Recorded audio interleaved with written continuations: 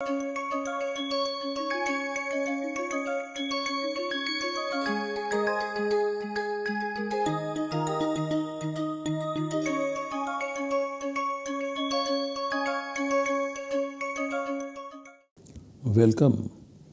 I welcome you all to this lecture in the course Samasa in Paninian Grammar. And this is the first course on Samasa. We begin our lecture with the recitation of the Mangala Charana.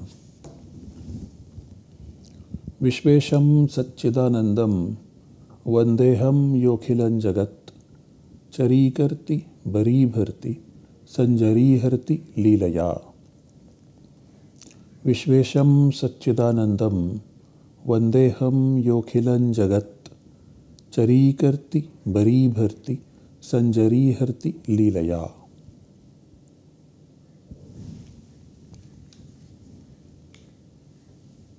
are studying Tatpurusha Samasa now, and the features of the Tatpurusha Samasa are captured in this particular equation, as we have said before as well, where you have x as a separate independent constituent, and there is another constituent called y, and when they get compounded you have a constituent called xy one unit this is one unit and in this xy it is y who is going to be the head by default semantically and also formally.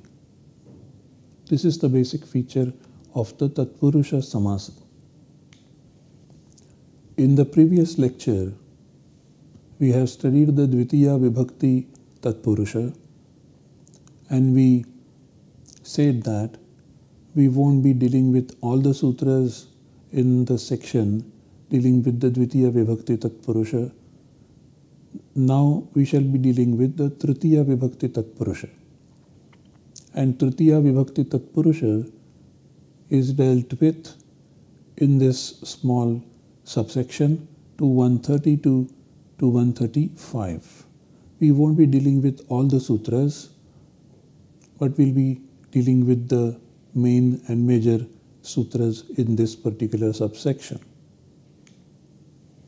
The first sutra is Tritiya Tatkritarthena Gunavachanena to 130. Tritiya Tatkritarthena Gunavachanena. There are three words in the sutra. The first one is tritiya.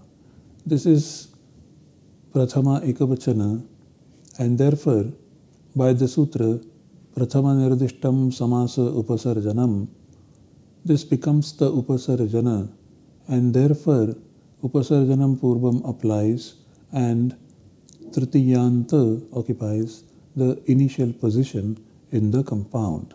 There is purva nipata.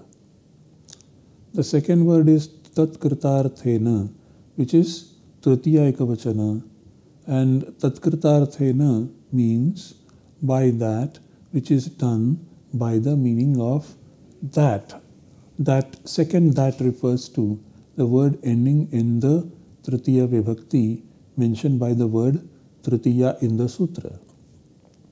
So the word mentioned in the Tritiya Vibhakti is doing something and that is what is referred to by Tatkritarthena, Tatkritena Arthena.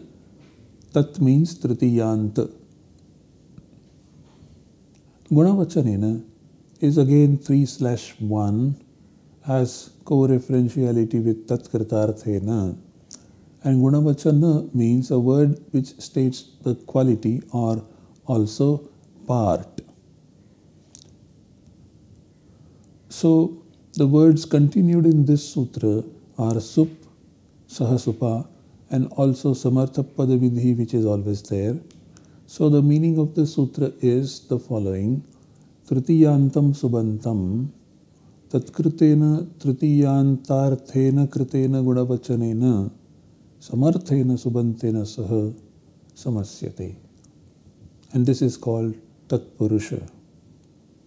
What it means is that the Subanta ending in Tritiya Vibhakti is compounded with a semantically related Subanta whose meaning is expressive of quality or part made by the meaning of that Tritiyanta. So here we have the first sup having Tritiya and the second sup with the Pratipadika which is Tritiyantartha Krita and also Gunavachana. And in such a case, the compound output would be the Pratipadika of the first Subanta Tritiyanta, this is that Pratipadika, plus the Tritiyantartha Krita Gunavachana, which is the Pratipadika in the second Subanta. Let us look at the example. The meaning is a part made by knife. Shankula is a knife.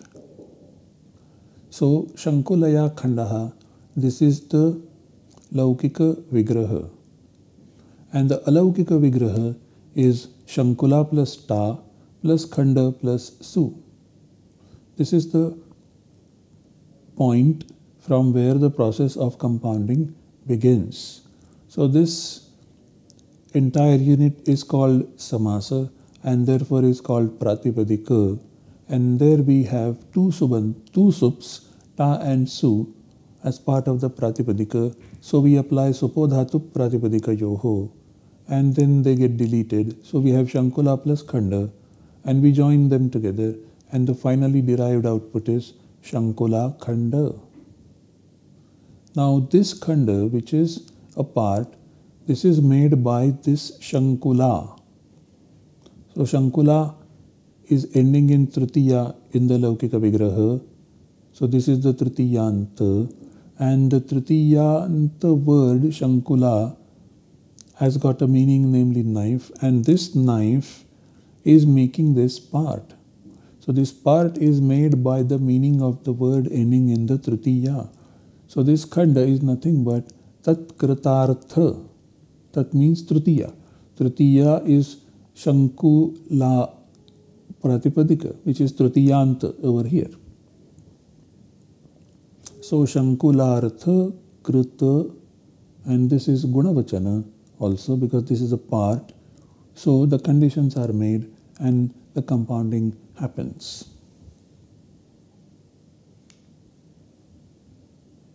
The next sutra 2131 is this following पूर्व सदृश समानार्थ कलह nipuna mishra shlakshnaihi there is only one pada over here पूर्व सदृश समानार्थ कलह निपुण मिश्र श्लक्ष्णैः so this is in 3 3 with words purva etc words continued are sup sahasupa and Samartha Padavidhi. The word Tritiya is also continued and the word Tritiya in, is in Prathama Ekavachana. Because it is in Prathama, by the sutra Prathama Nirdishtam Samasa Upasarjanam, the word in the Tritiya Vibhakti will be termed Upasarjana and it will occupy the initial position of the compound and there will be the Purva Nipata of the Tritiyanta word. So if we have the Purva Pada of this kind, Pratipadika plus Tritiya plus Purva etc. plus Su, then the compound output would be the Pratipadika of the first Subanta followed by Purva.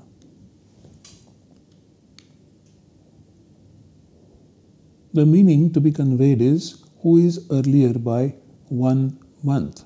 Somebody is senior by one month.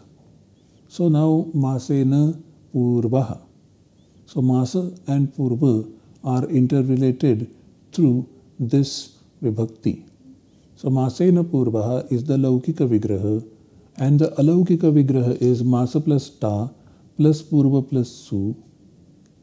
Masa plus Ta plus Purva plus Su and then the Samasa Saudhya takes place and then the Pratipadika Saudhya takes place. So we delete the sups. So we have Masa plus 0 plus Purva plus 0 and then we join the Pratipadikas together and we get the form Masa Purva which is the compound output. In the similar fashion, other words they are also compounded and we get the final outputs in following manner. So Matru Sadrusha, Matra Sadrushaha, who is similar to his or her mother. So Matru Sadrusha. Similarly, Pitru Sama, who is similar to father. So Pitra Samaha. Then we have masho nam. The word in the sutra is Unartha. Una means less. So Unartha stands for also the synonyms of Una. The synonym of Una is Vikala. So Mashonam is a compound and similar is Mashavikalam, another compound. That is Mashena Unaha, Mashena Vikalaha less by one masha. The next example is Vakkalaha. Vakkalaha. So Vakkalaha meaning quarrel by speech. So Vacha Kalaha. So Vani is the instrument of the quarrel. And therefore there is semantic relatedness between the two Subantas and so they get compounded in Vakkalaha. Then Vang Nipuna, skilled in speech. Vacha Nipuna, Nipunaha. Finally, we have Guda Mishra mixed with Jaggery. So, Gudena Mishraha, Guda Mishraha. And finally, Achara Shlakshnaha, gentle by behavior. Acharena Shlakshnaha and we get these compounds derived by this sutra Purva, Sadrusha, Sama, Unartha, Kalaha, Nipuna, Mishra, Shlakshnaihi. All the words mentioned in the sutra, they occupy the second position or Uttarapada in the compound.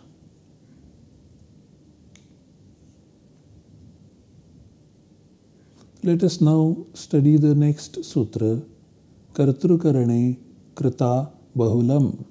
This is 2132. And here we have three padas. Kartrukarane is Prathama Dvivachana 1 slash 2 and this is Prathama Vibhakti. So Prathama Nirdishtam Samasa Upasarjanam assigns the term Upasarjana to these two and then Upasarjanam Purvam assigns the Purva Nipata of these two. Krita is 3 slash 1.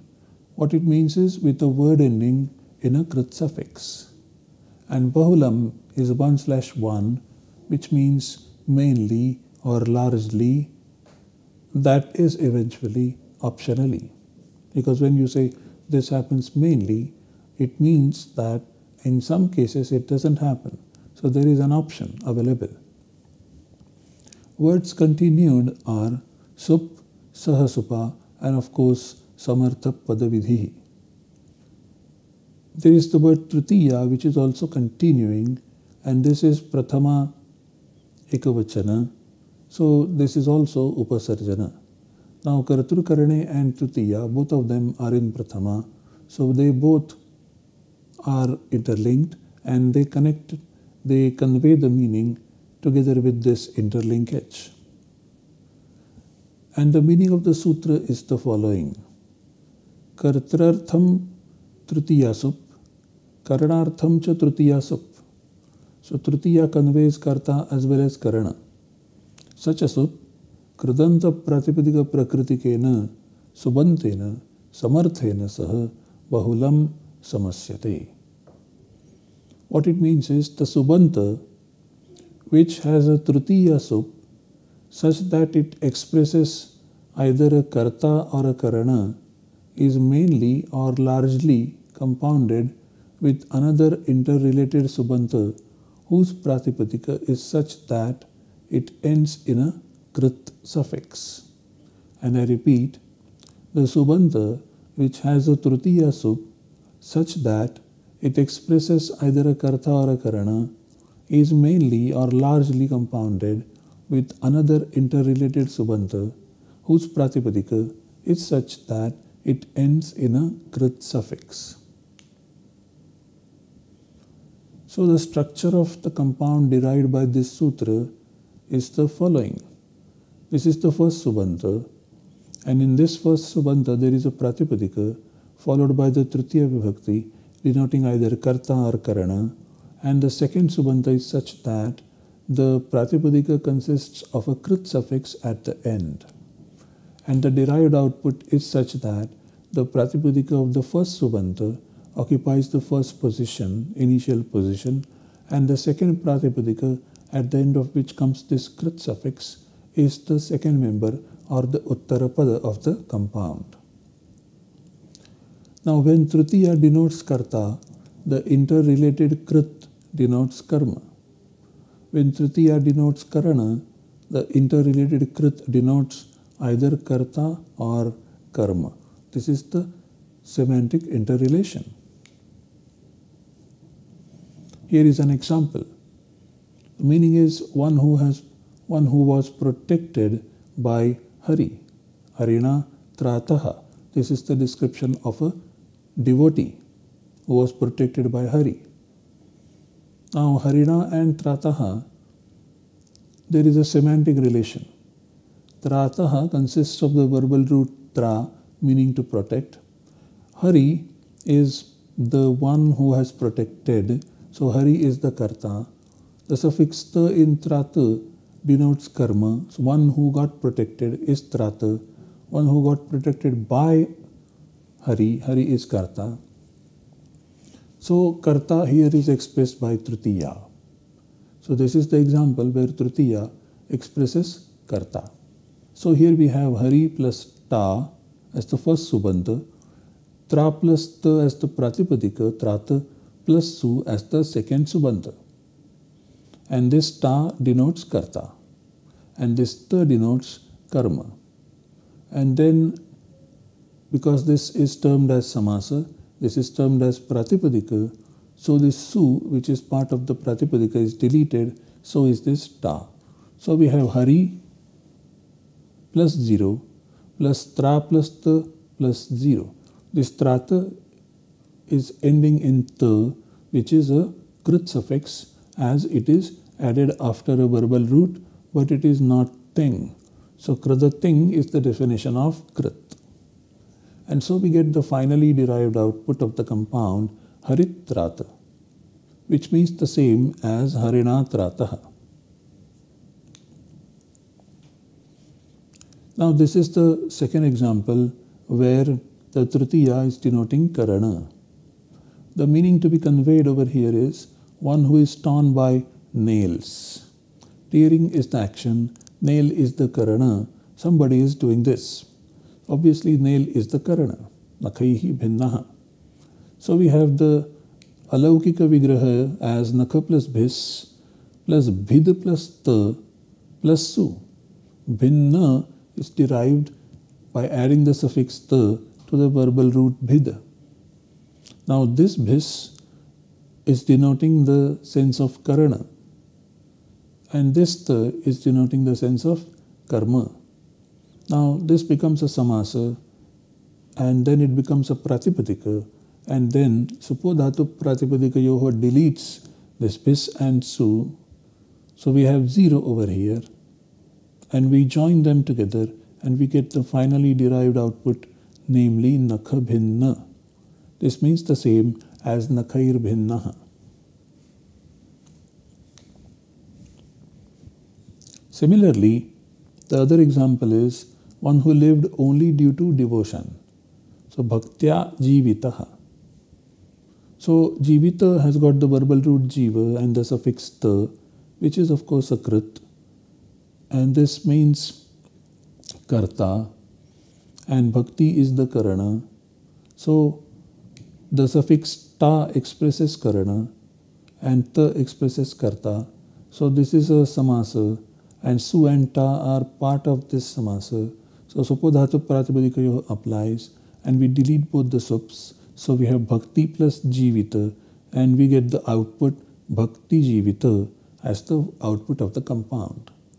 Bhaktya jivitaha was the input, bhakti jivita is the output and they both mean one and the same thing. What is the function of Bahulam? The word Bahulam, which means mainly or largely, that is optionally, is used in a peculiar manner. Sometimes, in spite of the presence of all the conditions stated in the rule, compounding does not take place. This is what is noted in this rule by the word Bahulam by the later commentators.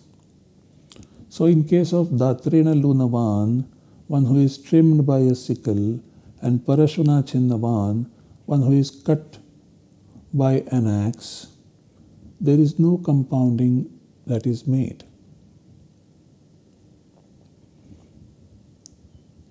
Even when the conditions are fulfilled. So to summarize, the Tritiya Vibhakti Tatpurusha also is an example of having compound internal dependencies. They are primarily the interrelations between the constituents.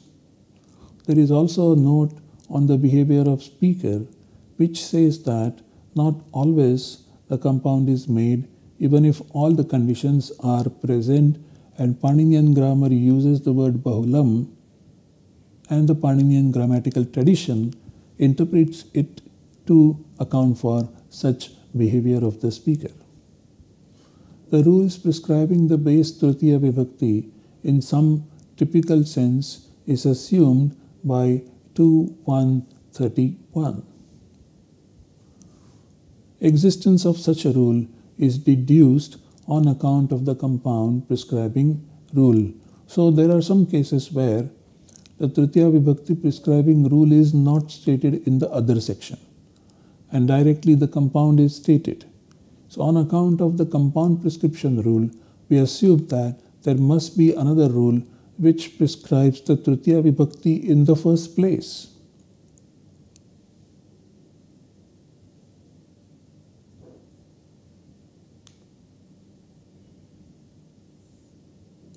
These are the texts that are referred to.